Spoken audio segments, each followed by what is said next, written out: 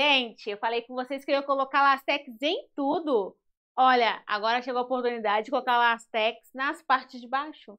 Vamos começar com shortinho? Então, se você gosta de lastex, quer fazer igual eu, colocar em tudo, aproveitar essa temática lastex e colocar, é igual quando a gente vai fazer comida, enfia a gente gosta em tudo, é a mesma coisa. Vamos colocar lastex em tudo, deixar esse shortinho lindo. Se você gostar da, é, do short, quer fazer calça, é só fazer a calça, colocar. Mas vamos aprender primeiro como é que vai fazer. Eu vou tirar medida e a gente vai ver como é que vai colocar isso no papel e transformar nesse shortinho lindo. Então, ó, tá, hoje eu nem corri, tá vendo? Para dar tempo de Fabiano mudar de câmera. Então, para eu fazer o shortinho, você vai ter as nossas medidas específicas para a parte de baixo. E nesse caso, a gente vai trabalhar com cintura? Possivelmente não, mas a gente vai marcar porque a gente vai fazer tudo certinho, depois fazer modificação. Depois eu venho com quadril. Se vocês que vão fazer tem um quadril menor que a cintura, então, olha, tem que fazer assim, passando pela barriga e passando pelo bumbum para que esse quadril fique maior.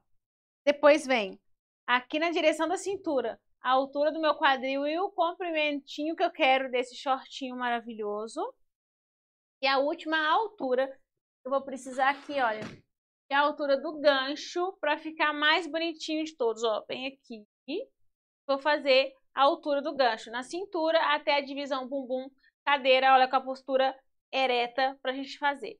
Agora vamos colocar em prática o que eu fiz aqui lá no nosso papel. Mas antes eu tenho que falar com vocês uma coisa. Sempre vou deixar claro, deixa eu ver, estou aqui bem condicionada. E nós aqui no canal, a gente tem, além do público aberto, a gente tem o público de assinantes, que são os nossos apoiadores.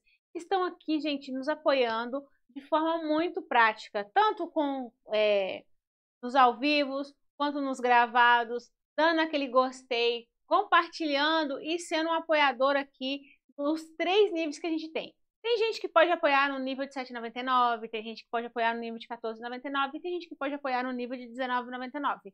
Eu falo para você, vem fazer parte dos apoiadores que você vai gostar. Todo nível tem o seu benefício. E é muito interessante você parar o animatronic aqui no benefício que benefício não, no nível que você quer e ver o benefício que te agrada. Você dá uma leiturinha e eu tenho certeza que você vai amar. Além de molde no Gold Diamante, a gente tem curso, a gente tem muita coisa, tem live, tem o um grupo aí de apoio no Telegram para os membros, então eu tenho certeza que você vai gostar, tá? Agora vamos colocar em prática aqui tudo que a gente está vendo. E vamos lá, ó. Primeira coisa que eu vou fazer, colocar minhas alturas.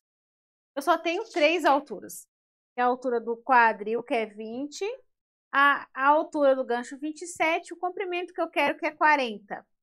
Então, coloca aqui, ó. 27, 40. Aí eu faço a linha aqui, ó. Bem grandona. Coloquei papel de forma diferente para eu conseguir fazer a saída do gancho. Vamos ver se eu vou conseguir nessa parte. E agora eu vou fechar com quadril, por isso que o quadril tem que ser o maior. Um quarto dele é 25, Trabalho com 25 aqui. E 25 aqui. Aí, eu venho aqui. Vou fazer isso aqui, ó. Então, o basicão frente costas, ele tá aqui. Só que eu vou passar aqui para a parte de baixo. Que assim fica fácil para você ver. E vem aqui, ó. Pronto. Fiz isso aqui, vou começar com a frente, depois a gente corta as costas. A minha frente, ó, frente, precisa de uma saída nessa altura do gancho. Então, a saída do gancho da frente é um quarto do quadril dividido por 4. Um quarto do meu quadril é 25, dividido por 4 dá 6,25. Só que eu não trabalho assim, eu, eu coloco 6,5. Só que como ele vai ser bem larguinho, e para ele não ficar marcando a virilha, a gente vai somar mais um centímetro. Então, aqui vai dar sete e meio. Aí eu venho aqui, vou marcar sete e meio aqui, aqui. Marco os mesmos sete e meio aqui, ó, sete e meio. Só que eu vou tirar desse sete e meio, um e meio. Mesmo que vai ser larguinho, eu tiro para ele não ficar cheio de tecido ali embaixo faço isso aqui. Você fala, mas como é que vai ficar larguinho aqui? Ainda a gente vai fazer. Primeiro a gente vai fazer a curvinha aqui, olha. Essa curvinha linda e maravilhosa, ó. Bem legal. Aí eu tô com a frente pronta. Igual eu falei com vocês, a gente trabalha com cintura, a gente não trabalha com cintura. Mas se você quiser marcar a sua cintura, você pode vir aqui marcando a cintura para fazer ele. Sem necessidade, tá? Mas a gente vai marcar aqui só para vocês estão começando a ver, ó. Se ele fosse assim, eu teria que fazer o que agora? Modificar essa cintura para o valor do meu quadril. Então, aqui já está o valor do meu quadril, eu mantenho do jeito que ele está. A única coisa que agora que a gente vai tirar dessa marcação é a parte que eu preciso, que é dessa base ali do, do lastex. Então, eu venho aqui, faço do jeito que está aqui, a gente vai tirar mais ou menos 12 centímetros, tá? São 12 centímetros para essa pala. Então, daqui até aqui, 12 centímetros. E eu corto a pala aqui. Então, essa parte aqui é o que vai ter lastex, mas depois a gente sofre com ela. Então, eu vou deixar essa parte aqui, vou cortar. Ó, deixa eu tirar isso aqui.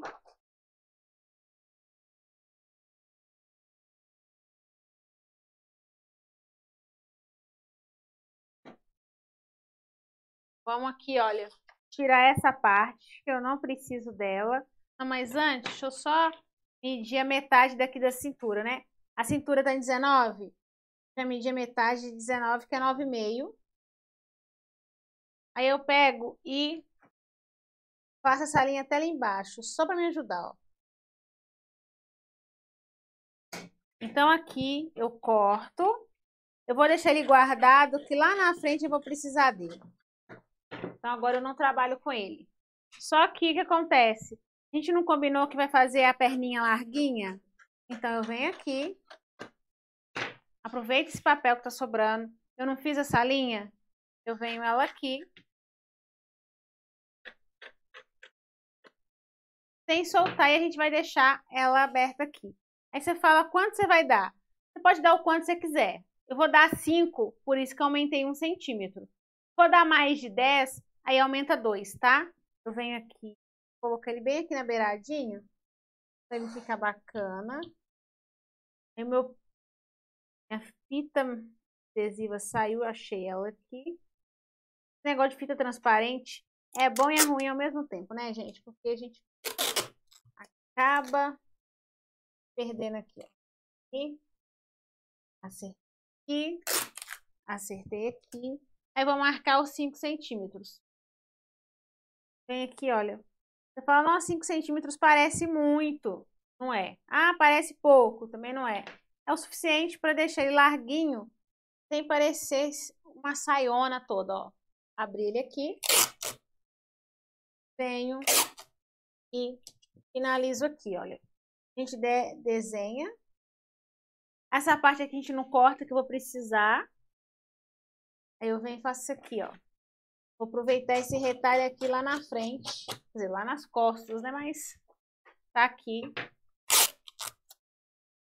Faço isso aqui com o papel para ele não vir. Corta aqui, ó. Aí aproveito, corta aqui também. Então, pronto. Essa parte aqui, eu venho, corto duas vezes. Você quer saber do fio do tecido? Eu venho, ó faço o fio do tecido. Lembrando que hoje a gente vai ver o quê? A modelagem, né? Lembrando que aqui é frente. Amanhã tem a costura. Por isso que eu falo, inscreve no canal, não perde nada do que vocês vão aprender aqui, porque vai fazer muita falta. Quando você quiser saber de um vídeo, não está sabendo porque não está seguindo a gente direito. Então segue a gente direito. Além de se quiser ser apoiador, faço muito gosto, tá, gente? Eu vou ficar muito feliz de saber que vocês acreditam no trabalho meu e do Fabiana aqui e querem apoiar de alguma forma. Então, vem aqui, faço isso aqui. Agora, vamos fazer as costas. Olha que lindas as costas, gente. Costas. Então, saída do gancho das costas é um quarto do quadril, dividido por dois. 25 dividido por 2 dá 12,5. Eu não aumentei lá na, na frente, era 6,25, coloquei 6,5. Vou fazer a mesma coisa, vou colocar 13. Só que eu não coloquei mais um, então vou colocar mais um. Então vai ficar 14. Aí vamos ver se eu tenho 14 aqui para colocar. Olha, precisa de um papel. Então, maravilha, né? A gente guarda aqui retalhos para essas horas. Aí tá aqui o retalho. Eu vou marcar 14 aqui. A mesma coisa, vou marcar 14, mas eu vou tirar 1,5. Tem que fazer isso, senão a roupa fica muito embolada na perna, aí você não acha bonito. Né? Ó. E aqui. Depois a gente vai fazer o desenho das costas, mas a gente tem que fazer a entrada e a subida. Então, pera aí que eu vou pegar um pedaço de papel os retalhos que ficam aqui no chão. Porque dessa vez eu não subi, vocês viram lá, agora eu vou subir. Os retalhos são para isso. Aqui. Aqui. Então, eu vou entrar três e subir três. Então, eu entro três, subo três e vou fazer a minha curva. Aí eu venho, coloco ela aqui. Ela não vai até lá no final. Então, eu tento fazer ela ficar mais reta aqui, um dedinho aqui. Faço a curva e vem de lá, ó, dando aquela ajeitada para ele ficar bonitinho. E aqui em cima, eu vou colocar o quanto que eu quero, que é a parte mais legal, que é o valor da cintura. Vamos lá, de novo eu com meus papéis. Aproveitando os retalhos tudo, gente. Ó coloco aqui, junto aqui, junto aqui e junto aqui. Aí, nessa linha aqui, vou fazer a linha da cintura, ó, porque às vezes a gente não tá enxergando a linha. Essa é a minha linha da cintura. Então, desse ponto até encostar aqui tem que ter 25, que é o valor do meu quadril. Vem aqui e 25. Aí eu venho e faço isso aqui. Fiz isso aqui, vou morrer aonde? Aqui, ó. Na pontinha. Só que vocês lembram que eu aumentei lá na frente, eu tenho que aumentar nas costas. Então, eu venho, vou marcar 9,5. Aí, esse 9,5 aqui, ele vem até aqui embaixo. Temos que tirar aqueles 12, não foi? Que a gente fez da pala. Então, a gente vai tirar 12 aqui, ó. 12 aqui Eu vou tirar essa parte aqui para a gente abrir. Vamos cortar então, ó. Venho, tiro essa parte. Faço aquela limpeza bonita, ó.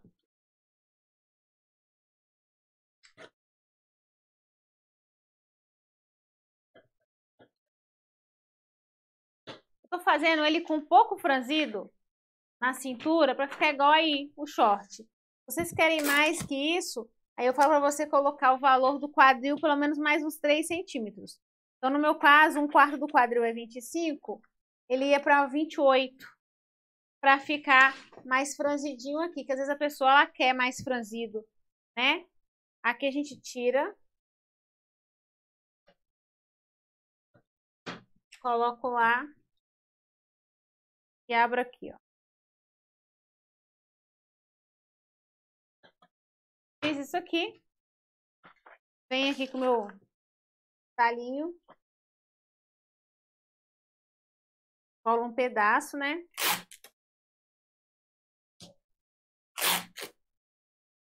E agora eu vou aumentar aqueles mesmos cinco que eu aumentei na frente nas costas.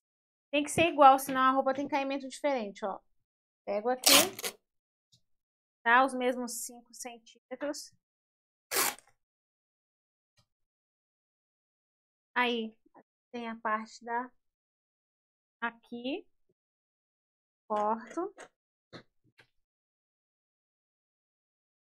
corto aqui. Aí você fala, se eu quiser aumentar, Edilane, é só no, na cintura? Não posso aumentar aqui ao invés, né? Já que a gente tirou a parte, vou até cortar aqui o que tá sobrando. já que eu tirei a parte da para, eu não posso vir aqui e colocar só mais uns três aqui em tudo. Não. Poder pode, tá? Você pode fazer um tanto de coisa dentro das suas roupas.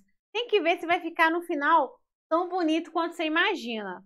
Talvez você não quer colocar os cinco, você quer colocar os cinco aqui, ó, já desde a parte que eu cortei aqui embaixo. Tem algum problema? Também não tem. Mas aí vai de cada pessoa, ó. Tem essas duas partes, agora vamos para a cintura. Então, a gente tem aqui, olha, aqui seria o gancho, né? A, a curva do gancho. E aqui seria a frente. O que vocês estão vendo é desse jeito. Essa parte aqui a gente descarta e tem essa lateral aqui, ó. A lateral que eu tinha feito e a lateral que ia ficar. Aí a gente tem a parte daqui, da parte das costas. Só que eu quero fazer ele reto. Por que quero fazer reto? Porque ele é uma faixa de lastex. Então eu venho aqui, ó, alinho para ele ficar certinho. Pra ele ficar o mais reto possível. Eu tenho frente e costas. Aí a gente trabalha aqui como se fosse dobra do tecido, tá? E aqui, olha, a partir dessa linha da, do gancho, eu vou colocar o tanto de folga que eu quero para ele franzir. Aí, quando você coloca? Você pode colocar o tanto que você quiser. O legal é que o lastex seu vai ser tão bom para elastizar. Então, eu venho aqui. Neste caso, ó. Vou fazer a linha. Vou fazer a linha aqui, ó. Conferir se tem 12, né? Porque a gente faz isso aqui, talvez nem 12 tenha. Ó, tá vendo? Fiz aqui, ó, o 12. Tá mais pra cá, ó. Pra cá. Então, quanto que eu vou colocar? Normalmente, você pode colocar a partir de 10, tá? Pra ele ficar apertadinho, bem bonitinho, do jeito que você quer. E eu vou colocar 15 centímetros a mais. Olha o tanto que eu coloquei que nem precisava. Aqui, ó, vou colocar 15 centímetros. Se quiser colocar 20, pode colocar 20, ó. 15 centímetros aqui. Tá? A partir da linha do gancho. Esse 15 vai virar 15 para a esquerda, 15 para a direita vai virar 30. Se eu colocasse 20, ia ser 40. E assim sucessivamente. Você fala, não, mas se ficar pouco, aí você coloca mais. Eu tenho aqui, ó. Tenho, faço isso aqui. Então, eu sei, eu vou fazer até de azul. Que essa parte aqui é o a mais que eu coloquei pro lastex. Se você quisesse colocar isso aqui tudo de lastex também não tinha problema não. E aqui, ó, na dobra do tecido, eu corto uma vez. Porque vai ficar desse jeito. Aí você fala, não, eu não quero com uma costura, eu quero com duas. Aí você pode separar frente e costas e colocar 15 centímetros em cada um.